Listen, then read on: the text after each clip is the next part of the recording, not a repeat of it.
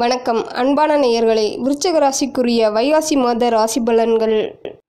சந்தர்ப்பங்களை சாதகமாக மாற்றிக்கொள்ளும் விருச்சக ராசி நேயர்களே வைகாசி மாத கிரகநிலைகளை ஆராய்ந்து பார்க்கும் பொழுது மாத தொடக்கத்திலேயே உங்கள் ராசியை குரு பகவான் பார்க்கிறார். குரு பார்க்க கோடி நன்மை என்பதற்கேற்ப இந்த மாதம் எல்லா நாட்களும் இனிய நாட்களாக அமையும். தொட்டது துளங்கும் தொழிலில் முன்னேற்றம் சிறப்பாக இருக்கும்.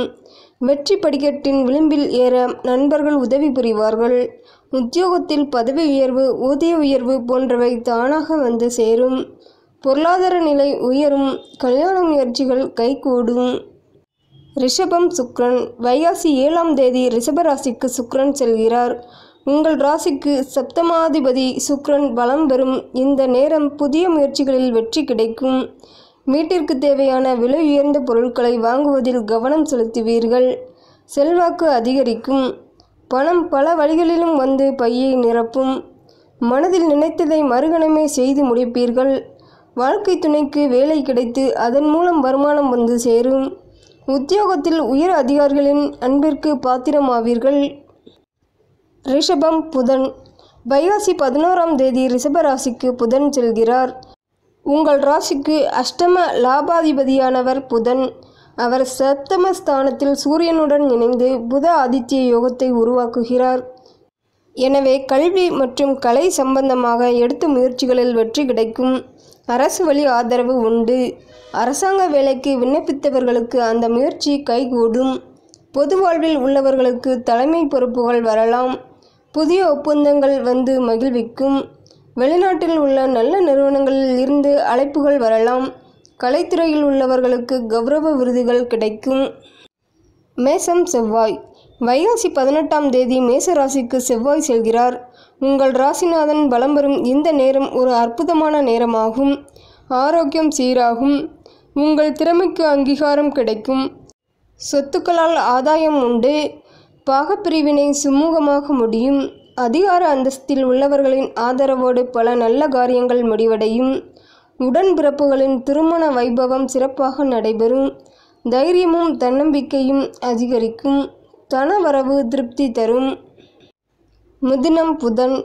வைகாசி இருபத்தேழாம் தேதி மிதுன ராசிக்கு புதன் செல்கிறார். உங்கள் ராசிக்கு அஷ்டம லாபாதிபதியான புதன் எட்டாம் இடத்தில் மறைவது யோகம்தான். மறைந்த புதனால் நிறைந்த தனலாபம் உண்டு என்பார்கள். அந்த அடிப்படையில் தொழிலில் எதிர்பார்த்ததை காட்டிலும் கூடுதல் லாபம் கிடைக்கும். எனவே கிளைத்தொழில் செய்யும் முயற்சியில் ஆர்வம் காட்டுவீர்கள். உத்தியோகத்தில் சம்பள உயர்வும் மேலதிகாரிகளின் பாராட்டுதலும் கிடைக்கும். மேல் படிப்பு சம்பந்தமாகவோ அல்லது உத்தியோகம் சம்பந்தமாகவோ வெளிநாடு செல்லும் முயற்சியில் ஈடுபட்டவர்களுக்கு அது கைகூடும். மிதுனம் சுக்ரன் வைகாசி முப்பத்தோராம் தேதி மிதுன ராசிக்கு சுக்ரன் செல்கிறார். உங்கள் ராசிக்கு பனிரெண்டாம் இடத்திற்கு அதிபதியானவர் சுக்ரன் எட்டாம் இடத்திற்கு வரும்பொழுது கெட்டவன் கெட்டிடில் கிட்டிடும் ராஜயோகம் என்பதற்கேற்ப எதிர்பாராத நல்ல திருப்பங்கள் ஏற்படும். தொழில் வளர்ச்சி உச்சத்தை அடையும். ஆடை ஆபரண சேர்க்கை உண்டு. வெளிநாட்டு வணிகம் ஆதாயம் தரும்.